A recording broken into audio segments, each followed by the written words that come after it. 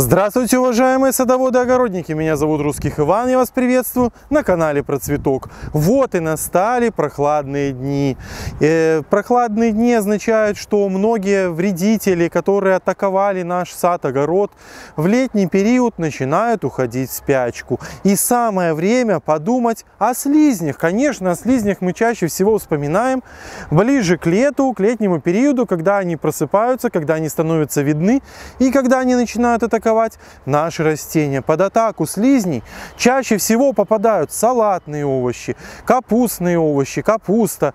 Землянику очень хорошо любят поедать слизни. И вот когда слизни приходят к нам в огород, декоративные растения подъедают хосты, очень многие растения страдают от слизней.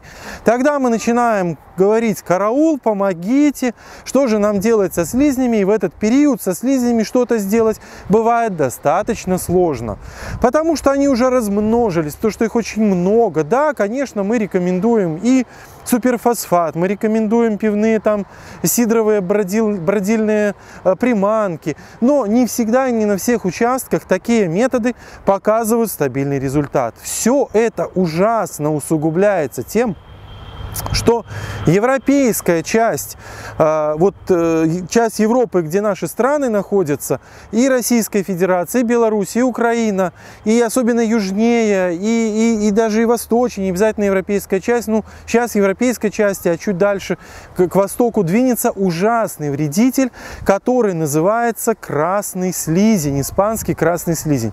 Я его уже видел, он вообще карантинный, я его уже видел, я раздавил ногой случайно на тротуаре в Минске, в зеленой озелененной зоне. И это катастрофа, потому что его никто не ест, он ест все. Ну, собственно говоря, как и большинство этих брюхоногих моллюсков без панциря, которые называются слизни. И если он начнет здесь у нас размножаться, он сожрет нам все, вообще весь огород. Это уж поверьте. И не только огород, но еще и цветники. Ну что же мы можем сделать в этот осенний период для борьбы со слизнями? Первое, что нужно помнить, что большинство слизней являются маломорозостойкими. И когда они уходят в зимовку, а зимуют они в почве.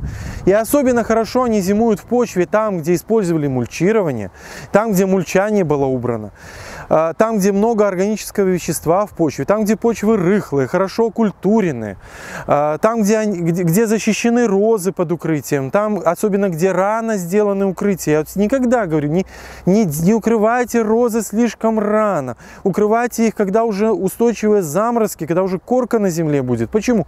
Потому что вы сделали укрытие, под это укрытие все вредители, в том числе слизни, забрались, все там прекрасно перезимовали, потом атакуют ваш сад.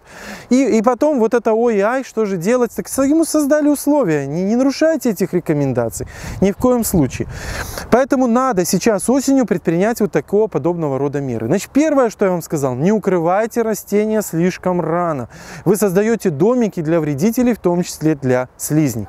Второе, что нужно сделать, это на участках, где слизни атакуют растения систематически и очень много, а бывает так, что там через три дома уже никаких слизней нету, а у меня есть. Ну, потому что микроусловия созданы.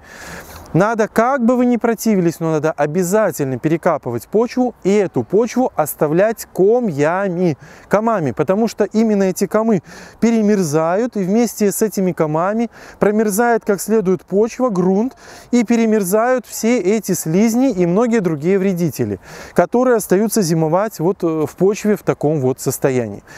Э, третье, что надо подумать о чем, это о том, что осень является очень хорошим периодом для высаживания растений, которые будут отпугивать слизней. Э, растениями, которые отпугивают слизней, являются различные э, губоцветные растения. Это шалфей, душица, мелиса, лаванда.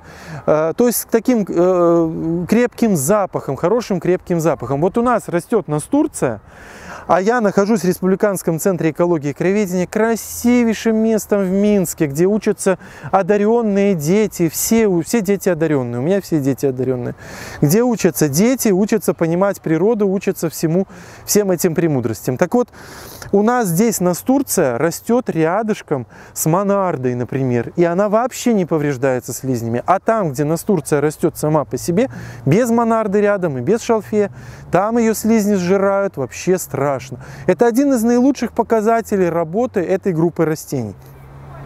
Мята туда же. То есть вот эти пряные многолетние растения являются прекрасной защитой от слизней. Заведите их у себя на участке побольше, вот как можно бордюры из них сделайте, массивы какие-то, посадите мяту под деревья.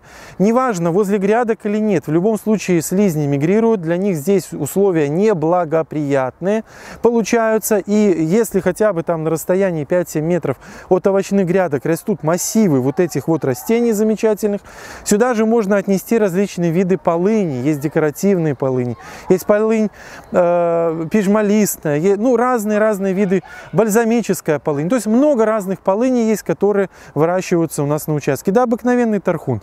Заведите эти растения и комбинируйте, комбинируйте какие-то для цветочных целей, какие-то для чая, какие-то как овощные, пряные. Обязательно их используйте. Еще четвертая проблема, четвертый совет даже такой. Э, слизни очень часто зимуют в компостных кучах. Они вот в этот период похолодания начинают лезть в эти компостные кучи со страшной силой.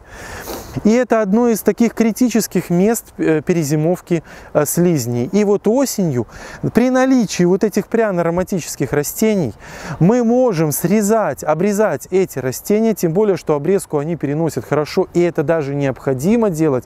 Тот же иссоп надо осенью обрезать.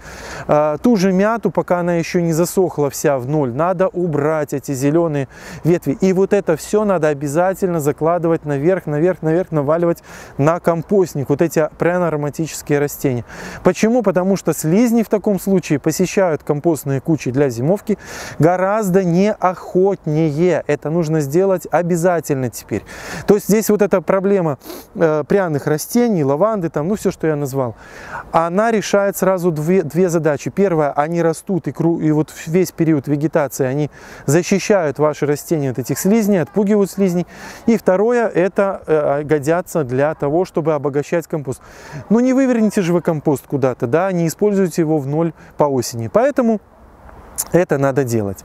Э, куча листьев, которые могут длительное время оставаться в саду, являются прекрасным прибежищем для слизней. Поэтому это надо все убрать в компостник. И вот, как я сказал, компостник в обязательном порядке необходимо немножечко от слизней отпугнуть. Ну, это может показаться слишком мягкой или слишком ну, нереализуемой. И вот у вас нету этих растений. Что делать? Берете 5 килограмм суперфосфата и посыпаете по поверхности поверхности всего компостника обязательно посыпаете как следует. Чтобы прям мощная посыпка была. Вот э, и дорожки, ведущие к компосту, там, где могут слизни лезть, залазить в этот компост, обязательно посыпаете суперфосфатом.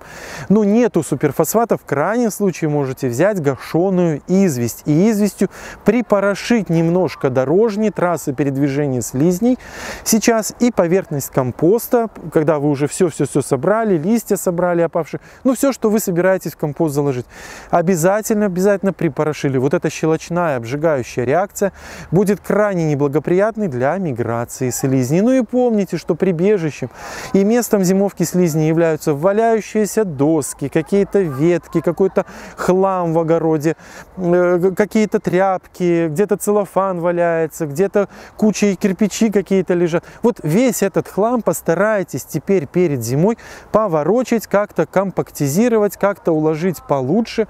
Этим самым вы значительно снижи, снизите атаки слизней на свой огород в следующем году. Бойтесь слизней. На самом деле э, грядет гроза с этим э, красным испанским слизнем. Смотрите в оба. И обязательно-обязательно э, сделайте слизня одним из таких важных вредителей вашего огорода, на которого надо теперь обращать не просто внимание, а особо пристальное внимание. На этом я прощаюсь с вами. Воспользуйтесь нашими советами канала про цветок, и у вас все будет просто прекрасно. До свидания!